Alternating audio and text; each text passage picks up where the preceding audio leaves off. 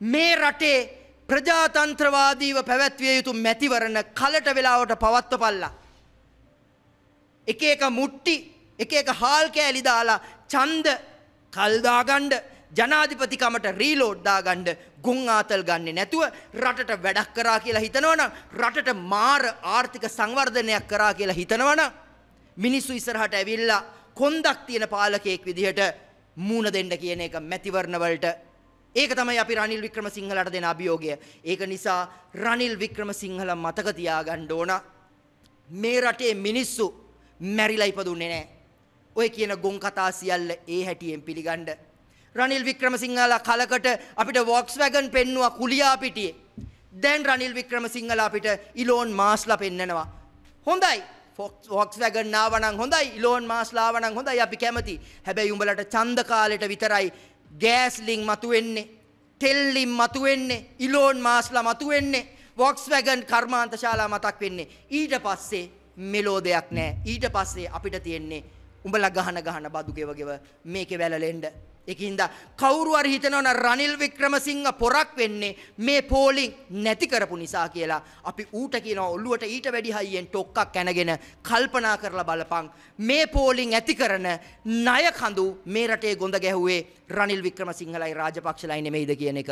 ඒක නිසා රට විකුණනවයි ණය නොගෙනවයි ණය ගන්නවයි බදු ගහනවයි ඇරෙන්න රනිල් වික්‍රමසිංහ කරපු කජ්ජක් මේක ඇතුලේ නෑ. ඒක අපි පැහැදිලිවම කියන්න ඕනා. මේ රටේ පහුගිය කාලය තුලම වෙච්ච දේවල් තුල අපිට බරපතල ගැටලු ගණනාවක් තියෙනවා මේ නීතිය ක්‍රියාත්මක වීම සම්බන්ධයෙන්. මේ රටේ නීතිය එක කණ්ඩායමකට එක විදිහටත් එක ඩයන සම්බන්ධයෙන් ගත්තම ඒක පහුගිය දවස්වල සිද්ධ වෙච්ච ඔය ප්‍රහාර සම්බන්ධයෙන් ගත්තත් ලොකු මිනිහට එක විදිහකුත් පොඩි මිනිස්සුන්ට එක විදියකුත් කුකුල් චමින්දලට දමිතලට එක නීතියකුත් ඒවා කුදලගෙන එන්න ඒ අයට දඬුවම් දෙන්න මාර ඇම්මක් තිබ්බු CID එකට මේවා නොපෙනී තියෙන්නත් මේ රටේ නීතිය පිළිබඳව නීතිය දෙපිරිසකට දෙයාකාරව පැහැදිලිවම ක්‍රියාත්මක වෙනවා කියන කාරණාව අපිට පැහැදිලිව පේන්න තියෙනවා. ඒ වගේම තවත් වචනයක් කතා කරන්න ඕන වැදගැම්මකට නැතත් පුද්ගල නාම සඳහන් නොකර වුණත් මේ ගැන කතා කරන්න ඕන. දැන් රට ගලවා ගැනීම සඳහා ඉදිරියට ඇවිල්ලා තියෙනවා ව්‍යාපාරික අපේක්ෂකයෝ. මේ රටේ ව්‍යාපාරික අපේක්ෂකයෝ. ඒක ඇන්ටිජන් ගෙනාපු එකා වුණත්, ඒක නයියරපු එකා වුණත්, ඒක කුණු කන්ටේනර් ගෙනාපු එකා වුණත්, එහෙම නැත්තම් ඌ වීමෝල්කාරයෙක් වුණත් ඔය ව්‍යාපාරිකයෝ ඔක්කොම ටික එක පෙළට හිටවපු ගමන් අපිට කියන්න තියෙන දේ තමයි උඹලා ධනවත් වෙච්ච විදිහ පිළිබඳ අපට තියෙන එක කියවීමයි. උඹලා ධනවත් උනේ මේ රටේ අසාධාරණ තරගයකින්. එක්කො තමන්ගේ අයියා ජනාධිපති වුණ නිසා. එහෙම නැත්තම් නයි ඇරලා තමන්ගේ එකා ජනාධිපති කරවපු නිසා. එහෙම නැත්තම් තමුන් වියදම් කරලා මේකේ හිටපු අප්පච්චිලා ගොඩ නගලා උන්ගේ සල්ලි හරහා මේ රටේ අසාධාරණ තරගයක් තුල උඹලා ව්‍යාපාර කරපු එක. දැන් සමහරු රොටි කනවා, දැන් සමහරු ළමයින්ට පන්ති දානවා. පරිගණක ගැන කියනවා IT තාක්ෂණය ගැන කියනවා. හැබැයි මතක තියාගනිල්ලා මේ රටේ ව්‍යාපාරිකයෝ මේ රටේ පුංචි මිනිස්සු මැරිලා ඉපදුනේ නැහැ මේ රටේ ඖෂධ බලපත්‍ර ටික අතේ තියාගෙන ගිනි ගානට මේ රටේ බෙහෙත් දුන්නා. හැබැයි ඖෂධ ව්‍යාපාරය තුලට සාධාරණව මිනිහෙක්ට එන්න දුන්නේ නැහැ ඒව උඹලා උඹලාගේ දේශපාලන හයිය උඹලාගේ ධන බලය තියාගෙන වැහැව්වා දැන් රටවල් ගැන මාර කන්සෙප්ට් ගැන කතා කරනවා. අනිත් අයියලා ගැන ටික කියන්න තියෙන්නෙත් එකයි. Tamanට තියෙන බලය පාවිච්චි කරගෙන මේකේ කැසීනෝ ටික දාගෙන මේකේ සූදු පොළවල් ටික දාගෙන මිනිස්සුන්ගේ අතමිට හූරන් කාලා විනාශ කරන සමාජයක් හදන ගමන් දැන් බුද්ධිය ගැන කතා කරන්න එනවා IT ගැන කතා කරන්න එනවා. පුළුවන් නම් හෘද සාක්ෂියක් ඇතුව කතා කරලා බලපන්. උඹලා ඔය ව්‍යාපාරික අපේක්ෂකයෝ ඔය තැනට නැග්ගේ සාධාරණ තරගයකින්ද නෑ. උඹලගේ ව්‍යාපාර නිසා මේ රටේ දහස් ගණනක් ගොඩනැගෙන්න තිබුණු ව්‍යවසායකයෝ කඩා හැලුණා. උඹලා උඹලට තිබුණු තර්ජන ඒවා වහලා දාලා යටපත් කරලා තමයි ওই ධනය ඉපෙව්වේ. අන්න ඒක නිසා මේ රටේ ඉන්න හොඳ ව්‍යාපාරිකයෝ ප්‍රමිතියක් ඇති ආචාර ධර්ම අනුව ශිෂ්ට සම්පන්නව ව්‍යාපාර කරන මිනිසුන් හැබැයි මිනිසුන් වගේ රඟන්න දෙන්නේ නැහැ. හැබැයි අද ජනාධිපති අපේක්ෂකයෝ වෙලා තියෙන මේ ව්‍යාපාරික ජඩය ජඩ රැළ එක හට්ටියකට එක මුට්ටියකට එක පෙට්ටියකට දාපුවම උන් ඔක්කොන්ගෙම චරිත සහතිකය එච්චරයි.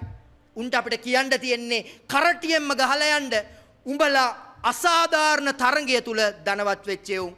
උඹලා දේශපාලකයින්ට සල්ලි පොම්ප කරලා උඹලට තිබුණු තරඟය උඹලට තරඟයක් දෙන්න හිටපු මේ රටේ ව්‍යාපාරිකයෝ වඳ කරපු එවුන්. ඒ කරලා අද උඹලා එක එක channel වලට එක එක පොරවල් ගාව එක එක හැච්චෝ බැච්චෝ ගාව එක එකට පොර ටෝක් දීලා දැන් මාර කොන්සෙප්ට් එළියට දානවා. ඉතින් ඒක හින්දා මේ රටවල් අද මේ තත්ත්වයට කඩා වැටෙන්න නෙළුම් මල් පුප්පපුවා පැණි බෙදපුවා නයි පෙන්නපුවාගේ ඉඳලා මේ රටට කුණු කන්ටනේර දක්වා ගෙනාපු මිනිස්සු වග කියන්න ඕන. ඒකින්ද අපි මේ රටේ මිනිස්සුන්ට කියනවා අඳින්න එපා. මොකද අපේ රටේ මිනිස්සුත් රෙද්ද පෙන්නපුවම කපල ඇඳලා මහලා බොත්තම් දාලා සිප් දාලා තියෙන බෝරිච්චිත් දාලා ඇඳගන්න ගොන් රැලක් ඉන්නවා. ඒවා අපි සමාජ මාධ්‍ය තුල දකිනවා. මේ ඇවිල්ලා පිටපතක් බලාගෙන හත් අට දෙනෙක් ලියලා දුන්නු ස්ක්‍රිප්ට් එකක් කාත් එක්ක හරි වාඩි වෙලා කිව්වම අම්මා මෙයා තමයි මාර කොන්සෙප්ට් කරු. මෙයා තමයි මාර කොන්සෙප්ට් කරු. මෙයා හොරකම් කරලා නෑ. මෙයා හොරකම තුල මාර සාධාරණයක් කරලා තියෙන කියලා ගොන් විදියට හිතන ගොන් මිනිස්සු රැලක් ඉන්නවා. අපි අහනවා. අපි අහනවා ඔය එකම ව්‍යාපාරිකයෙක්වත් අද ඉදිරිපත් වෙලා තියෙන මේ රටේ පුංචි ව්‍යාපාරිකයට ගොඩනැගෙන්න දුන්නද? අද එකෙක් කියනවා හැම පැයකටම සැරයක් මගේ වාහන 10ක් පාර යනවා. තව එකෙක් කියනවා මගේ වත්කම් ප්‍රමාණය බිලියන අච්චරයි මෙච්චරයි. මට අම්මා දුන්න 500ෙන් තමයි අද මම මෙතනට ආවේ. එතකොට මේ රටේ අනිත් මිනිස්සුන්ගේ අම්මලා තාත්තලා උන්ට 500ව දීලා නැද්ද? උන්ට ක්‍රියේටිවිටි නැද්ද? උන්ට ව්‍යවසායකත්ව අදහස් තිබුණ නැද්ද? නෑ එහෙම එකක් නෙමේ. ඒ හැමදේම උන්ට තිබුණා. හැබැයි උන්ට මේ කාලකන්‍ය අසාධාරණ තරගය තුළ උඩට එන්න මේ ව්‍යාපාරිකයෝ දුන්නේ නැහැ. ඒක තමයි ඇත්ත කතාව. ඒක හින්දා දැන් ඩොනල්ඩ් ට්‍රම්ප්ලා පෙන්නගෙන මේ රටේ මාර කන්සෙප්ට් දාගෙන බලය අල්ලන්න එන ඔය ජනාධිපති ව්‍යාපාරික අපේක්ෂකයින්ට කියන්න තියෙන්නේ උන් පස්සේ යන්න ලෑස්ති වෙලා ඉන්න ගොන් හැත්තටත් අපිට කියන්න තියෙන්නේ මේවා හරියට කියෝ ගන්න ඕන කියන එක මේ රටේ මිනිස්සුන්ට අවධාරණය කරනවා මැතිවරණයක් එනවා. අපි කියන්නේ අරයටද මෙයාටද දෙන්න ඕනේ කියන එක. හැබැයි පාර්ලිමේන්තුව තුල පාර්ලිමේන්තුව තුල සුදුසුකමක් නැති ජඩයෝ තැම්පත් කරොත් ගිහිල්ලා වපුරන දෙයට සාපේක්ෂව ප්‍රතිඵලය බලාපොරොත්තු වෙන්න. මොකද අපි දැක්ක ඊයේ පෙරේදා කියනවා රෝහිත අබේගුණවර්ධන සමහර වෙලාවට හෙට අනිද්දා වෙනකොට කුකුල් චමිද්දත් ජනාධිපති අපේක්ෂකයෙක් වෙලා එන්න පුළුවන් කියලා. ඔහුට ඒක පුදුමයක් වෙන්න දෙයක් නැහැ. ඔය කොහෙද මන් දන්නේ කළුතර පැත්තේ මාල කඩපු එකෙකුත් පාර්ලිමේන්තුවේ ඉන්නවා නම් කුකුල් චමින්දටත් ජනාධිපති අපේක්ෂකයෙක් වෙන්න බැරි කමක් නැහැ. පස් කපපු එවුන් මේ රටේ මිරිස් කුඩු ගහගත්තේ උන් පාර්ලිමේන්තුවේ ඉන්නවා නම් කුකුල් චමින්දත් එහෙම එකක්. හැබැයි මේ රටේ මිනිස්සුන්ට කියනවා තව දුරටත් ඒ වගේ දේවල් කරලා මේ රට තුල මීට වඩා වෙනසක් බලාපොරොත්තු වෙන්න එපා කියන කාරණාව මේ මැතිවරණය තුල අනිවාර්යයෙන්ම මේ රටේ මිනිස්සු තීරණයක් ගත යුතුයි දැනට වර්තමාන පාර්ලිමේන්තුව තුල සිටින නුසුදුසු ඒ සඳහා විභවයක් නැති රට කෙරෙහි කිසිදු අල්ප මාත්‍ර ප්‍රගතිගාමි තීරණයක් ගන්න බැරි ගොන් ඇඟේ හයියට කටේ හයියට මැරකමට ජඩකමට එක එකට කඩේ ගිහිල්ලා දේශපාලනයට ඇවිල්ලා ඉන්නේ උන් මේ දේශපාලනයෙන් අතු ගන්න ඕන. ඒක අනිවාර්යෙන් කරන්න ඕන.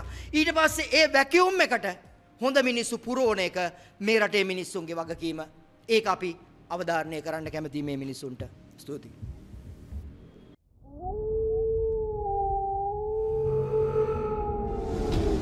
නිවස් රෙපෝට වාරණයෙන් තොර අපක්ෂපාති වාර්තාකරණය.